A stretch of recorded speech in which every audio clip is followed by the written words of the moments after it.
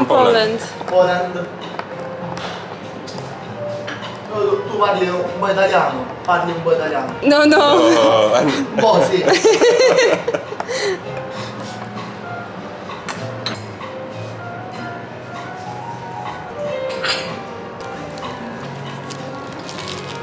Dobra. Myślisz, że się zmieścimy? Miały być bilety w kasie, są w autobusie i kolejka. Don't. Line.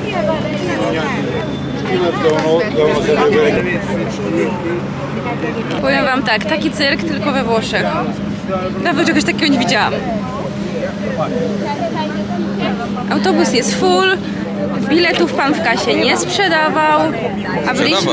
Sprzedawał, ale nie wiem, od 7.30 do 7.33? To jest jakiś żart.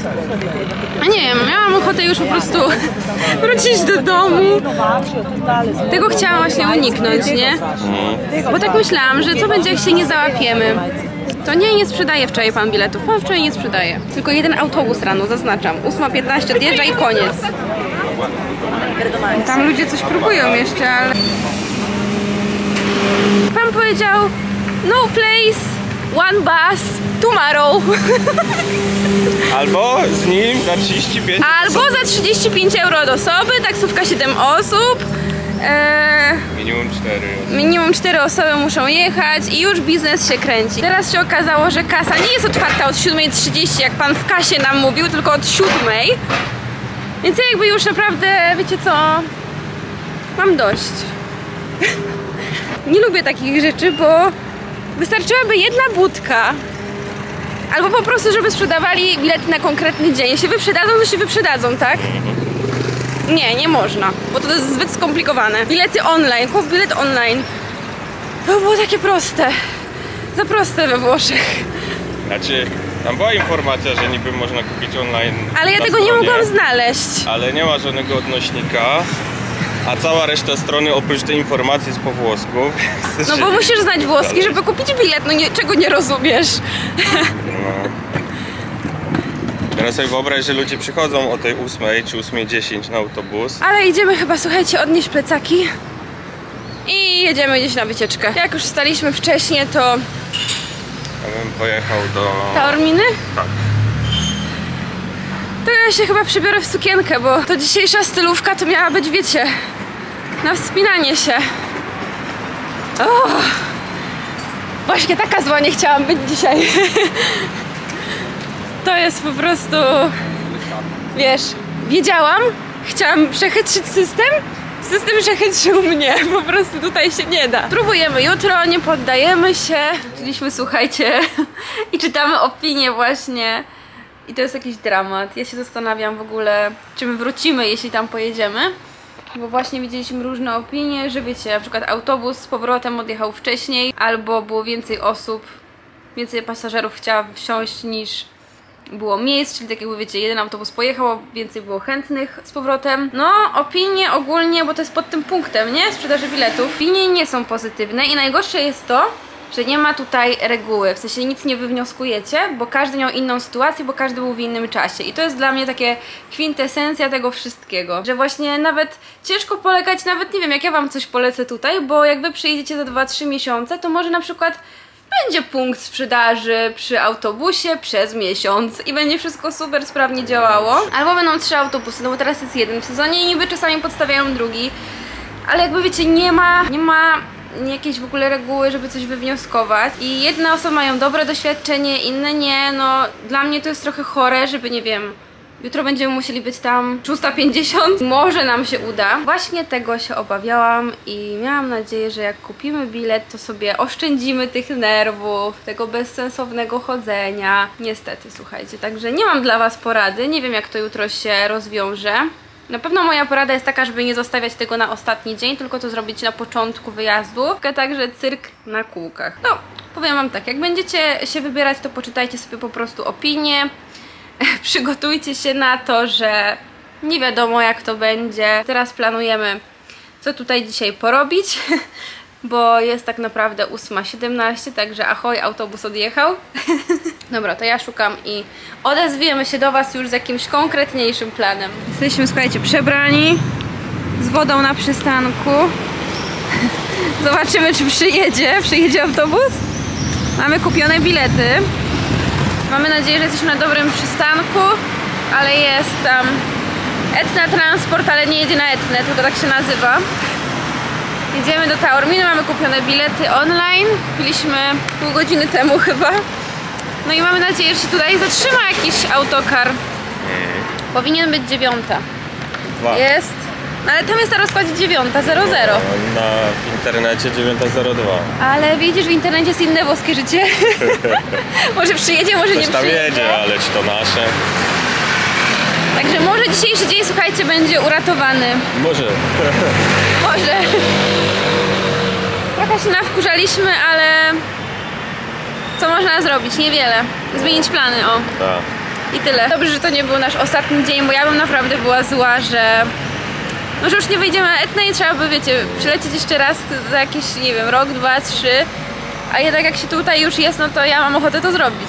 Godzina albo godzina 5 minut i będziemy na miejscu. Oby. Oby.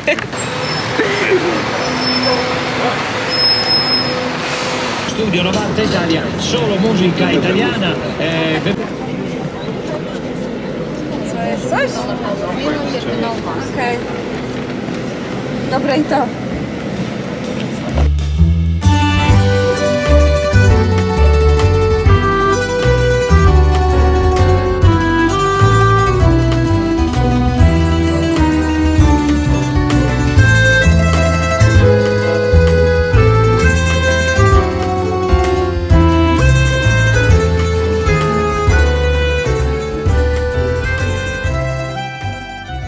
Słuchajcie, dojechaliśmy i rozmawiamy, że nie można tutaj ufać nikomu i niczemu. Bo nawet na bilecie naszym tutaj, żeby przyjechać, był zły przystanek zaznaczony, że mamy wsiadać na złym przystanku w drugą stronę. Gdybyśmy wysiedli, to byśmy szli pod górę chyba godzinę. Lekko.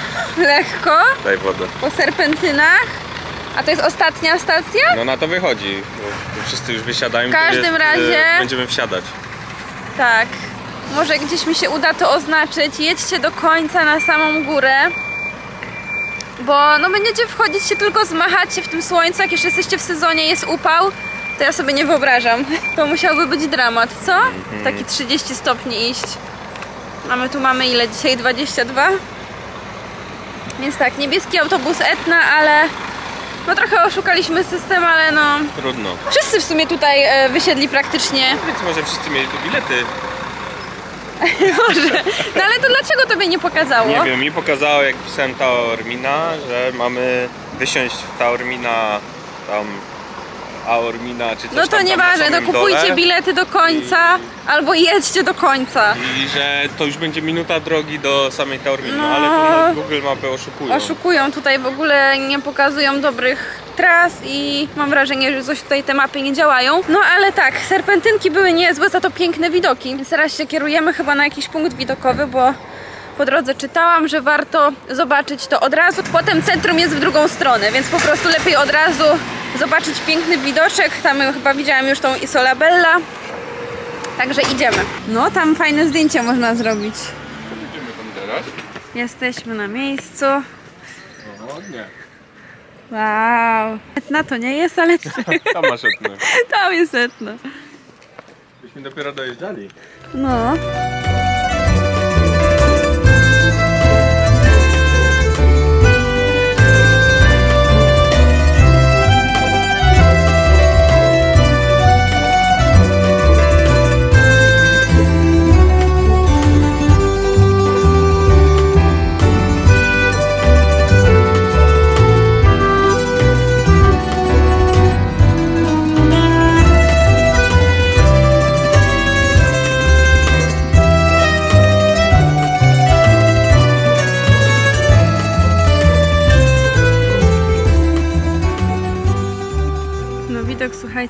przepiękny, a tam już widać Włochy kontynentalne. Już jest tam czubeczek buta. Tutaj po schodkach obok macie jeszcze fajny widoczek do zdjęć.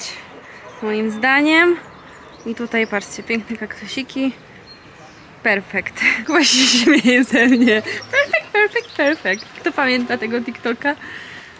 No zobacz, no taki widok nie jest perfekt? Jest. No jest. Idziemy dalej, idziemy gdzieś na kawę. Jest tu, słuchajcie, kolejka. Chyba na plażę, ale ogólnie słyszeliśmy, że właśnie chyba raczej nie działa, więc albo pieszo, albo autobusem można dostać się na plażę. Także co słyszę, to ta kolejka nie działa. Możemy podejść. Powinna działać, ale nie działa. Powinna działać, ale nie działa, także no wiecie. No, no rozumiecie.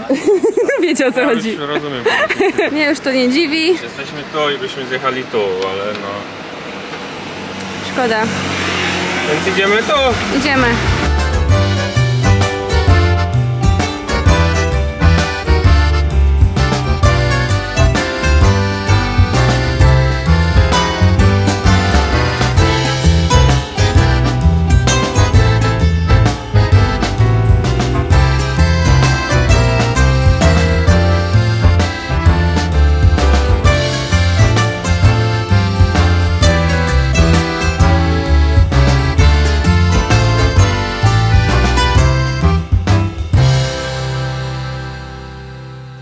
Wyszliśmy właśnie z kawy i polecam Wam to miejsce. Wróciliśmy tak naprawdę do niego. Mieliśmy iść gdzieś indziej, ale mówimy, idziemy gdzieś z widoczkiem. To było chwilę po prostu z powrotem, więc No, z autobusu to dwie minuty. tak, z autobusu to po drodze. Także e, zostawię Wam pineskę. 12 euro za dwie kawy, cappuccino i jedno tiramisu. Nie doliczali żadnego koperta, czyli wiecie, takiego nakrycia. No i teraz idziemy już zwiedzać Taorminę. Widoki są tu przepiękne i jakoś tak w końcu czuję ten wakacyjny klimat. Wczoraj jeszcze nie czułam. Widać, że jeszcze jest przed sezonem, no bo na przykład w tej knajpie byliśmy tylko my i jeszcze jakaś tam ekipa przyszła, ale tak to pusto. Natomiast może w centrum będzie więcej. Zobaczymy. Idziemy zwiedzać.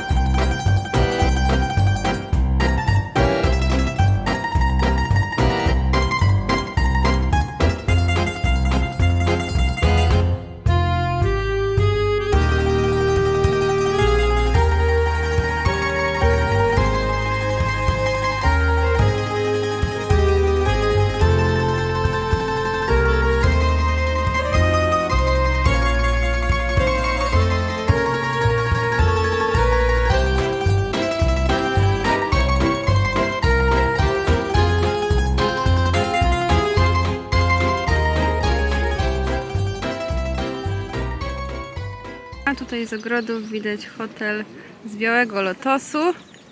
Tutaj, jak on się nazywał? San Domenico Palace.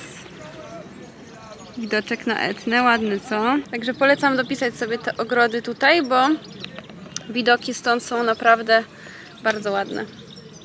Nie wiem jak dalej, ale tutaj wszystko fajnie wygląda. To co następnym razem do tego hotelu? Tak, tak, oczywiście. Tak! Za Pod bramą zdjęcie zrobić. Ile za noc? Za 1500? noc? Nie wiem, Google chyba mówi, nie? Powinien. 220, 200, Euro. 2205 euro. Za co? Za noc? No nie wiem za ile, ale chyba to jest za noc. Dzisiaj do jutro. 2000 euro za noc. No to tak. No to był hotel luksusowy, mówili w serialu, tak? Dobrze. Hotel pięciogwiazdkowy. 2000 euro. Dobrze, my zapłaciliśmy 500 euro za 6 dni. 500 euro za 6 dni. No, 550 chyba.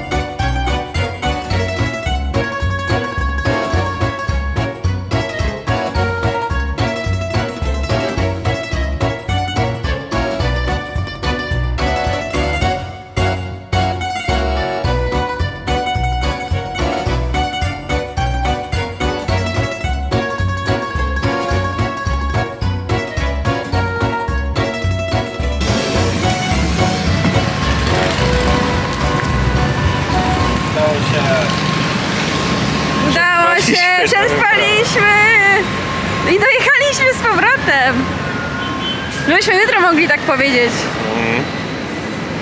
No dobrze, kochani, dotarliśmy, wróciliśmy tym autobusem, ale też na miejscu szybko się bilety wyprzedawały, więc jak wiecie, o której wrócicie, to możecie kupić online w dwie strony. My kupiliśmy w jedną, bo nie wiedzieliśmy, o której będziemy chcieli wracać, ale z Katani jest w miarę blisko, bo to jest jakoś godzinka drogi autobusem i lepiej jest jechać autobusem niż pociągiem, bo pociąg ma stację wcześniej. Więc dużo pod górę trzeba iść, a potem mm, i tak trzeba autobusem dojechać do pociągu, jak się wraca. Więc ja polecam jednak autokar, taki właśnie autobus. Więc teraz robimy sobie jakąś przerwę i zobaczymy co później. Na pewno wyskoczymy na jakąś kolację. Mnie trochę, szczerze mówiąc, w tym autobusie zmuliło, więc e, chętnie bym się zdrzemnęła. Drzemka? Jakaś drzemka? No? Nie wiem. Nie wiem. Już się spaliłem dalej. Znowu ci się spaliło? O matko! A się smarowaliśmy, słuchajcie. Słońce jednak daje, także trzeba uważać i mimo wszystko polecam, nawet jak jedziecie wcześniej, zabrać filtry. Czas podłączyć aparat do ładowania. O. To zjeść. I coś zjeść.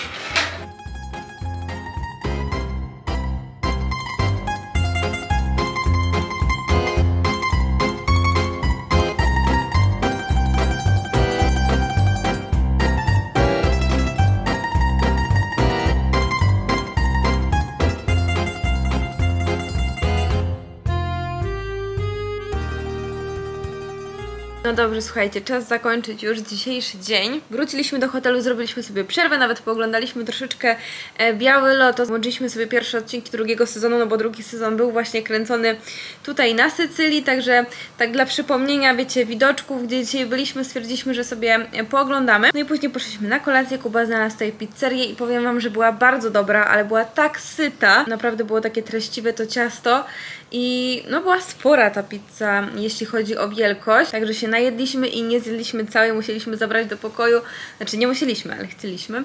Także polecam Wam to miejsce, ja ogólnie postaram się wszystkie miejsca, jeśli chodzi o takie, gdzie nam smakowało jedzenie, gdzie polecamy, dodać w jakimś jednym poście albo podzielić na miasta, zobaczę jeszcze jak to zrobię, e, bo chciałabym, żebyście mogli to łatwo gdzieś zapisać, mieć do tego jak wrócić, bo wiem, że czasami jak się gdzieś wyjeżdża, to chce się mieć wszystko w jednym miejscu. I na przykład właśnie zapisać sobie post do folderu na Instagramie, na przykład Sycylia i tam mieć zdjęcia mm, albo jakieś właśnie polecenia, jeśli chodzi o miejsca. Ja tak często robię, jak już widzę jakąś lokalizację, do której chciałabym kiedyś pojechać, to ja już teraz na przykład zbieram inspiracje do różnych miejsc i tworzę sobie foldery na Instagramie i potem jak wiecie, gdzieś już jedziecie albo wiecie, że będziecie, to odpalacie sobie ten folder i możecie też trochę na tym planować wyjazd, więc myślę, że to też taki mój mały tip, jeśli chodzi o e, gromadzenie gdzieś tam tych rzeczy wyjazdowych. Warto sobie robić po prostu na Instagramie foldery tych zapisanych reelsów i zdjęć po prostu miastami, nawet jeśli jeszcze nie wiecie, że macie jakieś bilety, tylko może kiedyś się uda. Więc tak, podsumowując dzisiejszy dzień, zaczął się optymistycznym nastawieniem na wyjazd na Etnę. No, szybko skończył się nasz entuzjazm. Co prawda był fajny poranek ze względu na to śniadanie, bo poszliśmy tam, gdzie mamy te śniadania wykupione. Śniadanie, czyli kawa i cornetto. Cornetto nazywają się włoskie e, rogale. One są przepyszne, słuchajcie. Te pistacjowe nadzienie to jest po prostu zielona nutella. I to nie tak, że porównanie konsystencji czy mm, tego, że jest bardzo słodkie, jest słodkie. Natomiast to naprawdę smakuje jak zielona nutella, nie wiem jak inaczej to wytłumaczyć. Oczywiście ma trochę inny smak, ale bardzo zbliżony do nutelli. I jest kremowe, słodkie, przepyszne i tutaj naprawdę nie żałują. Nadzienia, więc jeśli będziecie w Katanii albo gdzieś tutaj w okolicach tego naszego noclegu, albo nawet będziecie tutaj spać, to ja polecam Cafe Raba, chyba tak się nazywa, dodam Wam też tutaj w opisie na dole pod filmem, bo myślę, że naprawdę mają przepyszne te właśnie cornetto, no i później z tym autobusem na Etnę historia wiadoma, poczytaliśmy opinię i to najwyraźniej tak wygląda y, bardzo, bardzo często. Wiele jest takich opinii pod tym konkretnym punktem y, kupowania biletów AST, bo to jest taka sieć. No widziałam, że nieraz y, komuś się udawało kupić wcześniej bilety, myślałam, że będzie tak samo, najwidoczniej to zmienili. Natomiast też były opinie, że ktoś, wiecie, kupił bilet i nawet z biletem nie wszedł, bo zaczęli wpuszczać kogoś, kto kupił bilet u kierowcy i taki troszeczkę tutaj jest chaos, więc jutro wstajemy, słuchajcie, przed szóstą. Nie idziemy na te śniadanie, bo nie zdążymy. Tylko idziemy prosto pod ten punkt, żeby być tam tak za 5, 7, 7. Także mam nadzieję, że uda nam się kupić ten bilet. Jak nie, to się rozdzielimy. Ja będę stała przy autokarze. Kuba pójdzie do tego punktu z biletami, żeby ktoś po prostu te bilety z nas kupił. Także będziemy na łączach na Messengerze i będziemy próbować kupić. Nie no, mam nadzieję, że w tym punkcie się uda. Faktycznie po siódmej, bo jak my przyszliśmy, 7.30, to tam pan, wiecie, wchodzimy, to już było czynne, już była kolejka, więc nie wiem, czemu on nam podał taką godzinę. Ja myślałam, że wtedy się otwiera i dopiero, wiecie, będzie wszystkim sprzedawał bilety. Sprzedał może jednej, dwóm osobom jeszcze i wszystkich, e, całą resztę odesłał do kierowcy, który już full, autobus jest full, więcej nie ma, jeden dziennie jeździ na Etnę, tutaj stąd wiecie, nie wiem jak jest w innych miastach, tak, bo wiadomo, że z innych miast też na pewno są jakieś transporty, natomiast tutaj no masakra. Także zobaczymy jak będzie jutro. Trzymajcie kciuki, żeby nam się udało, no wiadomo, jak wy to oglądacie to już albo nam się udało, albo nie, także zobaczycie w kolejnym vlogu, natomiast ja trzymam mocno kciuki, że jak będziemy wcześniej, to się uda i pewnie to tak działa, że jutro my i osoby, które dzisiaj nie, mm, wiecie, nie udało się wejść do tego autokaru, przyjdą wcześniej, następni przyjdą jutro, tak jak my dzisiaj, czyli za późno, nie dostaną biletów i przyjdą znowu kolejnego dnia i to tak się, wiecie, przynosi z dnia na dzień, mm, przychodzi grupa osób, która się poprzedniego dnia nie dostała i ci, którzy zapewne się też jutro nie załapią. W sezonie niby są dwa autokary, ale jest też więcej zainteresowanych, więc to koło się e, dalej tak, e, wiecie, dalej tak to wygląda. Pewnie są jakieś inne dojazdy, natomiast yy, my nie chcemy przepłacać to raz. Dwa, już sobie, wiecie, wypatrzyliśmy to wcześniej mm, jako taki, yy, wiecie, najszybszy, najłatwiejszy transport, najszybszy też się jedzie dwie godziny, Ym, jako taki transport, którym no raczej większość osób jeździ, także no my mamy takie doświadczenie. Mam nadzieję, że jutro już się uda i wszystko będzie fajnie, ładnie i zobaczycie kolejnego vloga, jak wchodzimy na Etnę, także będę się już z Wami żegnać. Podsumuję tylko szybko, że ta Ormina jest przepiękna i moim zdaniem, przynajmniej mi, bardziej się podobało w Taorminie niż tutaj w Katanii. Jest tutaj fajnie, mam nadzieję, że jeszcze trochę Katanii zobaczymy. Miasteczko jest takie urokliwe, no są te kręte uliczki, które do niego prowadzą, same widoki, teatr, no ten park też... Taki ogród botaniczny, nie wiem jak to powiedzieć, no jest taki park tam wielki, no widoki są po prostu rewelacyjne i Taorminę musicie odwiedzić, jeśli będziecie na Sycylii. Polecam Wam sobie zapisać chociaż na jeden dzień, zrobić taką właśnie wycieczkę, e, pojechać autobusem, nie pociągiem, przypominam, że ten pociąg tam dojeżdża tylko do pewnego momentu, przynajmniej tutaj z Katanii. Mimo tego, że Katania jest fajna, to mi się wydaje, że Taormina jest taka bardziej klimatyczna, e, bardziej urokliwa, jest więcej takich widoczków, e, no zobaczymy jak będzie dalej, no bo oczywiście będziemy jeszcze tutaj na Sycylii trochę zwiedzać. Nie jakoś dużo miast, ale na pewno Palermo odwiedzimy i może jeszcze coś się uda pojutrze, także zobaczymy jak to będzie wyglądało. Natomiast ta Ormina bardzo nam się spodobała, naprawdę bardzo i ja miałabym ochotę jeszcze tam jednego dnia podjechać, ale nie wiem czy nam się uda, nie wiem czy będzie na to czas. No zobaczymy, słuchajcie, ja się z Wami żegnam, bo musimy iść spać, ja idę się wykąpać, rano wczesna pobudka, już ubrania uszykowane, wszystko gotowe, plecaki też, także wstajemy i lecimy. Mamy nadzieję, że się tam dopchamy, także trzymajcie kciuki. Widzimy się w kolejnym vlogu i mam nadzieję, że tam już pójdzie wszystko dobrze, także zostawcie kciuka w górę, subskrybujcie mój kanał, żeby być na bieżąco, wciśnijcie dzwoneczek, żeby otrzymywać powiadomienia i widzimy się w kolejnym filmie. Do zobaczenia, buziaki, pa!